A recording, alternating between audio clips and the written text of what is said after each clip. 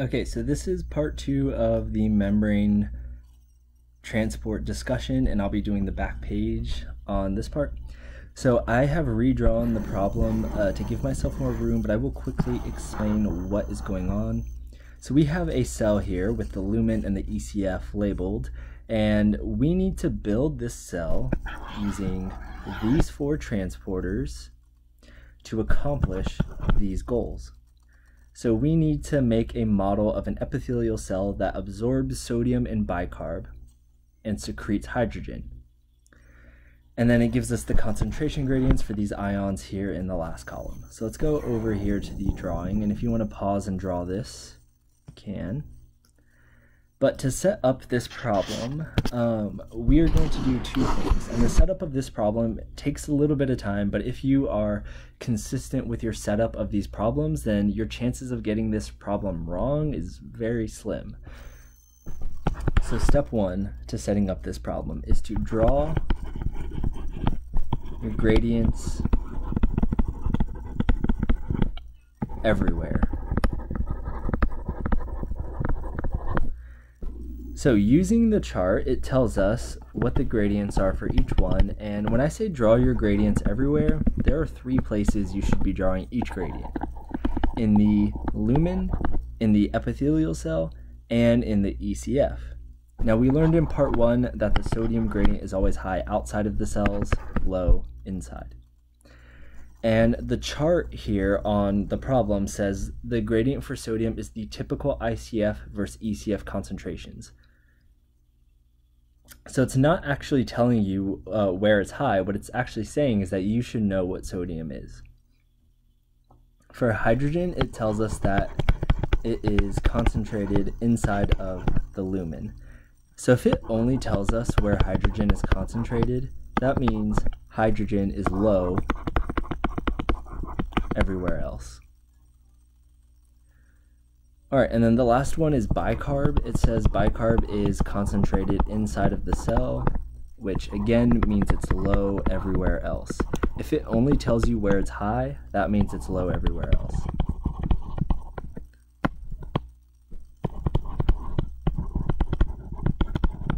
All right, so that's step one. Step two is to draw draw your absorption and secretion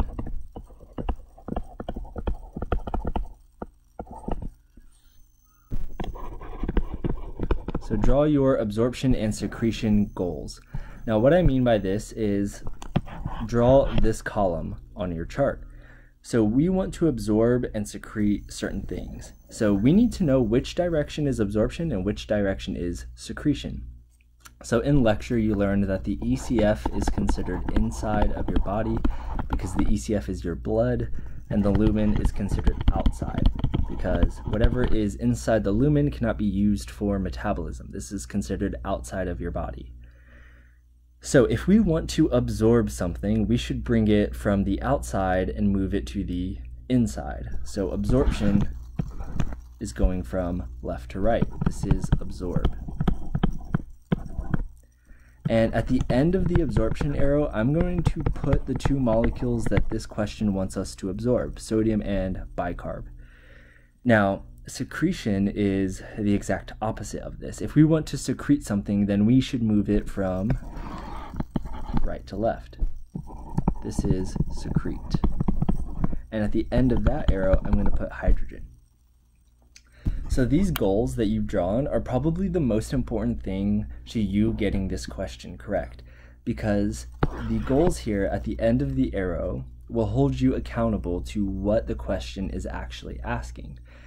So if you put sodium and bicarb at the end of the absorption arrow, that means every single time you draw sodium and bicarb, it has to be shown to the right. It always has to be shown drawn to the right. So you should never draw sodium going this way. You should never do that. Same thing with bicarb. And that means that you need to show also, you actually need to complete this goal. You actually need to show sodium and bicarb getting into the ECF. You need to actually show that. And on the other side of this, we actually need to show hydrogen entering the lumen. So we know that those things need to happen in this graph, but I'll erase this so we can start. So uh, we have these four transporters down here to complete those goals. And the tip that I'll give for you is that you can only use each transporter one time. So your final answer can only have four proteins drawn on it. Every transporter can only be used one time. But the strategy that I have for you to solve this problem actually uses each transporter twice. So the strategy that I have for you and that I'll do here today is to actually take each transporter, place it on both sides of the membrane or both sides of the cell and see which one matches our goals. Whichever one does not match our goal, we will erase. All right, also when you are uh, approaching these transporters, I recommend starting with anything that is facilitated diffusion. You'll know what's facilitated diffusion because it will start or it will have the words channel or carrier in them. So let's start with the sodium channel. And let's draw it on both sides. So sodium channel on both sides. Let's look at the lumen side. If we were to draw sodium moving in, the reason why we're drawing it moving in is because we have to follow the laws of passive transport or diffusion.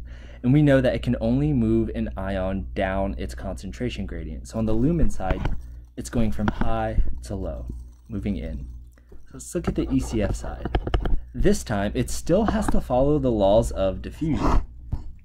And based on the gradient on the ECF side, it's going to be moving from high to low inside of the cell. Well, based on our goal of sodium absorption, we said that we should never draw sodium moving to the left. So the one that I will erase is the one on the ECF side.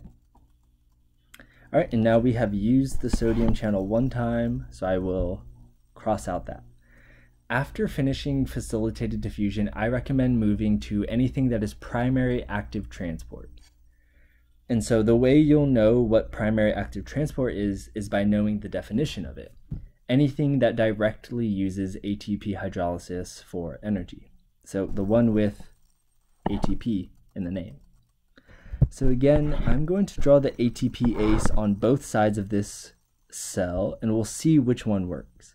Now, the rules of primary active transport are that it will move everything against gradients. So on the lumen side, if we're going to move sodium against the gradient, it's going to be moving outside of the cell into the lumen. And then we also know that a, pot a potassium will be here as well and that it will use ATP. So let's draw on the ECF side. Following the rules of primary active transport, we know that it will pump sodium against the gradient. And at the same time, it will move potassium against the gradient. And also using ATP. So based on, again, our goal of sodium absorption, which one do you think we should erase? Should be the lumen side that we erase. Because the lumen side showed sodium getting secreted, but the ECF side shows sodium being absorbed. So we have used the sodium potassium pump once. All right, the next thing that you'll do is approach any secondary active transport proteins. You'll know which ones are secondary active transport because they will have the word co-transporter in the name. Now, co-transporter is an umbrella term. Uh, the more specific terms are antiport or symport. We don't tell you which one is which here, which means that you have the ability to make either of these co-transporters symports or antiports. Now, based on our goals, we can uh, predict which which they will be. Will they be a symport or an antiport? So let's look at the last one, the sodium bicarb co-transporter. And let's look at our goals. If we want sodium and bicarb to do the same thing, then I would expect this co-transporter to be a symport because symport moves in the same direction. Now, if we draw this on the lumen side, we will draw sodium going in and bicarb also going in. Let's look at the gradients here and let's look at what is happening. Sodium is moving down its gradient and bicarb is moving against its gradient. So bicarb is using the energy that sodium gives off to move against its gradient. So this is secondary active transport. All right, so let's draw it on the ECF side.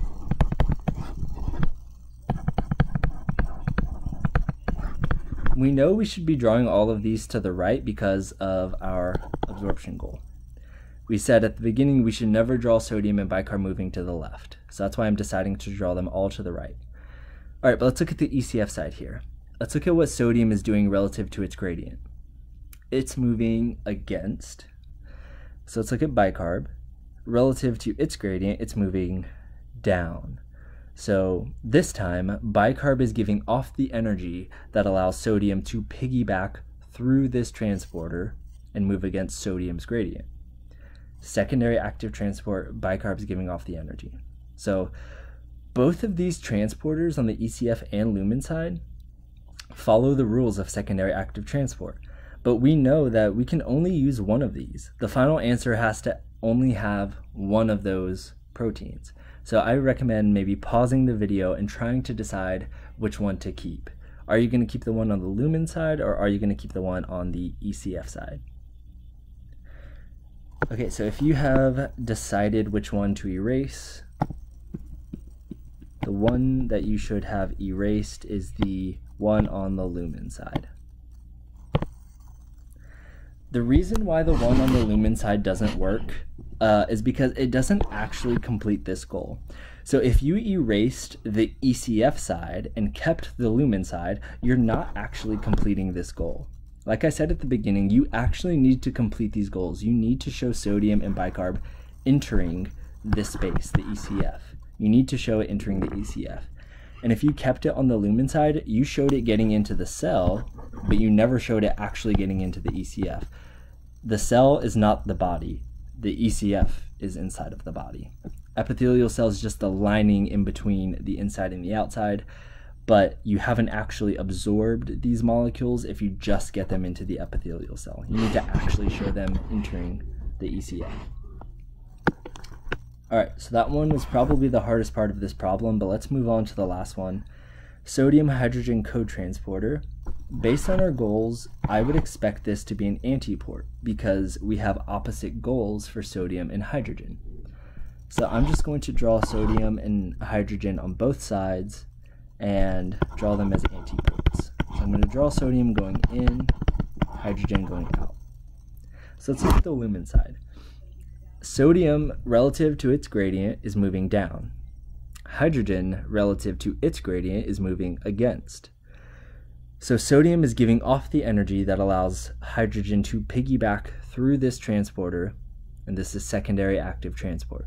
Follows the rules, that looks good. Let's look at the ECF side. If we draw sodium going out and hydrogen going in, let's look at the gradients. Sodium is moving from low to high, so it's going to have trouble doing that. It needs a source of energy. But look at hydrogen. What is it doing relative to its gradient? And rather, does it have a gradient? Hydrogen actually does not have a gradient here. It's moving from low to low. So if sodium is moving against its gradient and hydrogen doesn't have a gradient, this transporter actually just doesn't work at all. It doesn't follow the rules of secondary active transport. That can't happen. So I'm going to erase it, and what we are left with is the final answer. So we used each protein twice, once on each side, but we erased one side of it, and we are left with all four proteins drawn one time, and we have our answer. So I recommend definitely retrying this problem on your own, starting from the setup. So after you draw your gradients and your goals, see if you can do this again. And if you run into questions, uh, my Q&A hours are going to be really good for answering those questions. The other thing I recommend doing is go back to the first part of this discussion and try to work this glucose problem again see if this glucose transport makes more sense now that you know a little bit more about uh, just kind of like the setup of these problems, the gradients, the transporters, stuff like that. All right, so I'm not going to answer all these questions. They're going to be pretty easy uh, for you to answer, but I will answer uh, number two. It says, given the sodium bicarb co-transporters on the ECF, we would think it's the symport because we wanted them to do the same thing. They had the same goal. Now, part B is the one that's a little bit tricky. It says, based on the info above, which one do you think is moving via secondary active transport? So look at this right here. What 2B is asking you is, which one is moving via secondary active transport? Is it sodium, is it bicarb, or is it both, or is it neither? So the way you answer this is to answer the one that is moving against its gradient which in this case is sodium. So the one moving via secondary active transport is sodium. Because it's moving against its gradient, it would normally not want to do this. It's using the energy that bicarb is giving off to move against its gradient. So, sodium. You don't really need to worry about number three, uh, but this was when Ian was talking in lecture about like you have uh, big X and little y, and, and X uses the gradient of y to go in. Um, but yeah, don't, don't really worry about number three here. All right, so that's it for the membrane transport discussion. Um, I will be uploading the osmolarity and tonicity discussion later this week, probably Wednesday or Thursday, so that you can get started on your homework.